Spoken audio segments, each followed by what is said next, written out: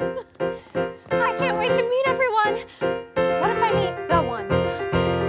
Tonight, imagine me gowned and all, fetchingly draped against the wall, a picture of sophisticated grace. I suddenly see him standing there, a beautiful stranger, tall and fair. I want to stuff some chocolate in my face, but then we laugh and talk all evening, which is totally bizarre.